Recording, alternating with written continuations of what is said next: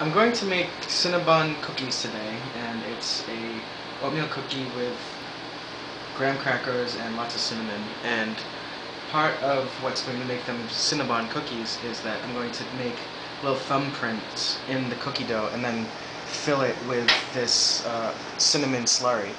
And it's got cinnamon, vanilla, um, cinnamon chips, and sugar. And it's a thick little slurry that I'm going to fill in the little thumbprints and when they bake it's going to sink into the cookie and just form this like button of cinnamon goodness in the middle of the cookie and once they're cooled I'm going to frost them with um, a cream cheese based frosting so that it really does taste like um, a Cinnabon bun that you'd get at the mall.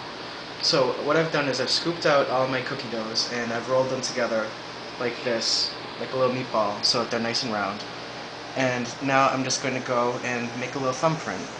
You push it down and you get a little indentation. And you just go bloop! Make a little it's like a little thumbprint in the cookie. And then this is the cinnamon slurry. And this I'm just using a half teaspoon measure and I'm just going to go in and fill the little thumbprint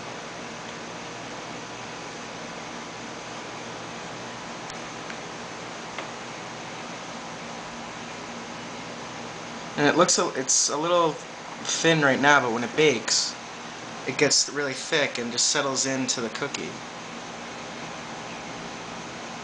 So that's the first row, and then you just keep going.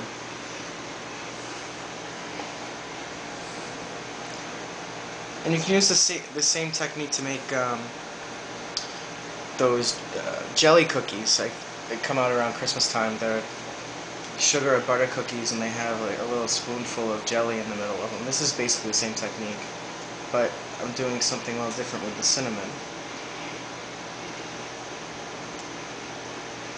And you don't have to do a precise measure of the of the filling.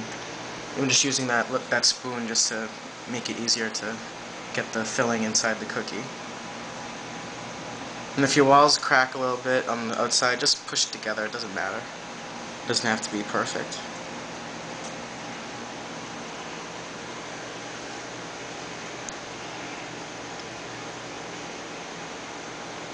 one more in this row.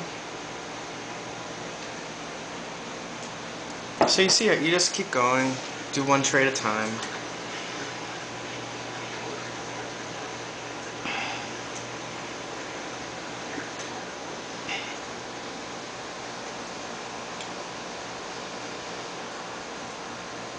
And this um, cinnamon filling smells really good.